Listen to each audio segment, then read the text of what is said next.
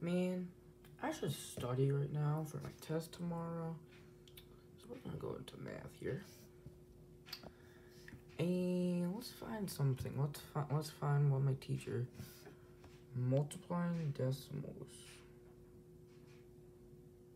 Never mind. I'm just not gonna study. I'm just gonna go to sleep right now. I already studied enough. Man, I'm just studying right now. Yeah, it's gonna probably easy. Let's go into math here. Mm-hmm, mm-hmm, mm-hmm. Alright, alright, um. Uh, multiplying decimals, uh, that's pretty easy. Um, uh, that, that, uh, that, that, that, that, and that. You know, that's probably gonna be really easy. 69 hours later. I think I stayed and eat long enough. Yeah, I definitely did. I'm gonna go to sleep. You know what? I should really study for this essay. I think it's gonna be really hard. So, you know, I should do it now.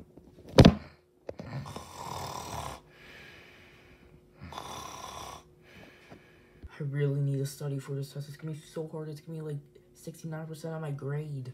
Uh, I should just look up the answers to be honest. Uh, 2 plus 2. 4. No shot, bro. Bro, this calculator is so smart, bro. Oh my god, guys, actually unbelievable, guys.